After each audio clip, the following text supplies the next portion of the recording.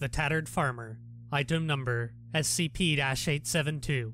Object class Safe. Special containment procedures. When not under controlled observation, SCP 872 is to be kept in cold storage at Sector Blank. SCP 872 is to be kept 2 kilometers from any concentrated group of animals considered livestock at all times. When under controlled observation, a perimeter is to be established outside the observation area, and research is to cease immediately in the event of an attempted containment breach. Ten members of security are to be present during controlled observation to enforce this. Controlled observation must be approved by one member of Level 4 personnel.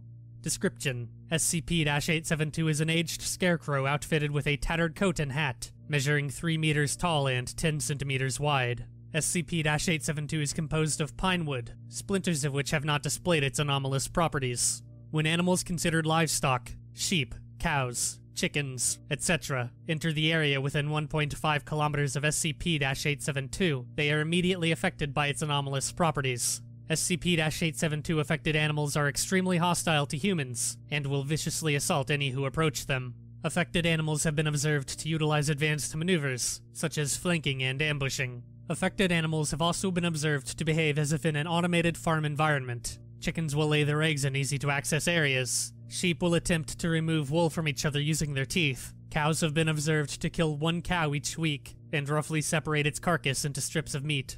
Each month, the animals will transport anything produced to the perimeter of SCP 872's area of influence and allow humans to remove it from the area. When removed from SCP 872's area of influence, affected animals immediately enter a vegetative state. This vegetative state is reversed when said animals are returned into SCP 872's area of influence.